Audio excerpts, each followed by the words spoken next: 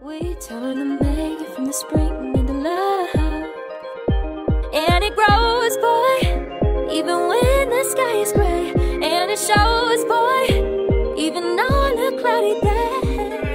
My channel. I'm Gabrielle. In today's video, we are going to be installing this closure wig step by step because I know a lot of you guys still wear closures and not really into like wearing frontals yet. I absolutely love, love, love, love frontals, but I started with closures. So um, I decided to switch up and just come with a closure wig and show you guys how I step by step install it. Now this is just the way that I install it, one of the ways actually, because I would really like using Bold Hold Extreme Cream, but I know a lot of you guys are wearing closure wigs because you like to take them off because they're super convenient.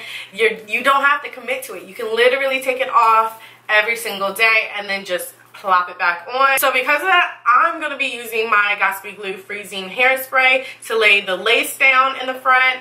And whenever you're using the Got2b Glue gel or the freezing hairspray, make sure you have like some type of towel or a makeup wipe so that you can wipe away the crust okay? Because there's always going to be crust. I don't care. I don't care how good you are. There's always going to be crust when you're using these products. So um, that's what you guys are going to see me use. Other than that, the only thing that I ended up using is my concealer for the parting space and then just some black eyeliner and that's about it yeah that's about it so um, let me tell you where this wig is from and it's from Wiggins I recommend this company. I like this company. I've tried different textures from this company. I have a playlist, so check it check it out if you are thinking about wanting to purchase from this company. But as you guys are already probably watching the clip of me installing it, it's pretty self-explanatory. But if there is some very, very new beginners out there that are watching this, hey, hello, you can do it, okay? Just practice and you can do it.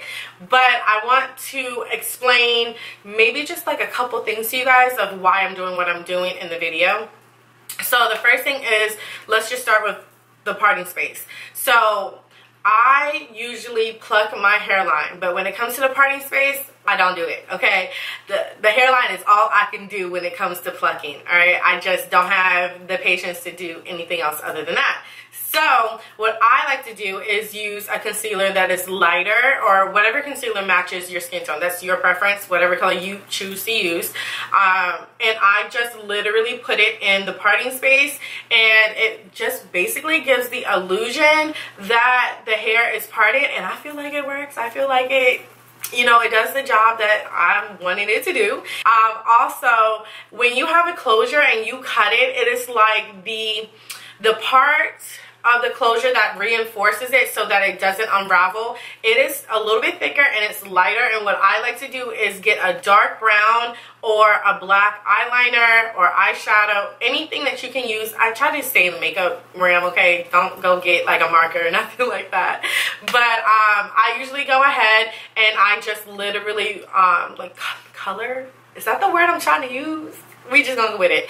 Um, usually like just color that spot in so that it blends with my hair that's underneath and um, that really usually does the trick but I am a little extra so I like to do my baby hairs right um, around that area so that it definitely camouflages it. Okay, so before I wrap this video up, I do want to touch on how this hair feels. Okay, so the hair feels so lightweight, so fluffy.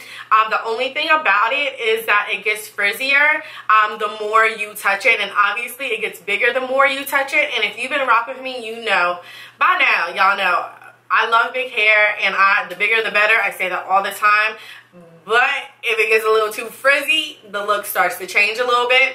And for me, I feel like um, I would use my Shea Butter or Shea Moisture Curl Enhancing Smoothie, um, especially in the front area because that's what I, I touch this the most. So I would use that product in here just to define the curls and minimize the frizziness that comes from me touching uh, my hair. So other than that, the curl pattern is so pretty. I love the length. Now the cap is a little bit bigger than my circumference. I am, I have a 22 inch circumference head and I usually wear average cap size but I will say I'd rather it be a little bit big than a little bit small because a little bit small is not a lot you can really do but when it's a little bit big um, you can just adjust the straps or you can add an elastic band add some combs. Like there's a there's a lot you can actually do with a cap size that is just a little bit big. So um, not really a problem. I actually prefer that. So I'm glad that this company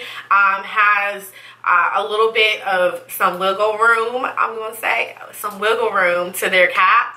And um, yeah, their cap is constructed really well. I will say in the back, if you guys have gotten wigs before, there's like maybe like an inch, inch and a half of lace in the back. This one does not have that. Um, but usually when I get like wigs like this, I'm not putting it up it, I'm wearing it down like this. So, um, and if I do wear it up, I just pull my hair in the back and lift it up. But that's, an, that's another video. That's another video. Um, but I think that's all I have to say. Yeah, that's all I have to say about this unit. So I hope you guys enjoyed watching me install this unit. If you do, go ahead and like this video and then subscribe. Because if you're going to like something, you might as well subscribe because I'm going to have more of it coming okay? And um, yeah leave a comment down below if you have tried this hair or if you have any other tips that might help some beginners out there on how to install their closure wig. So with that being said i'm gonna check y'all least out in my next one. Bye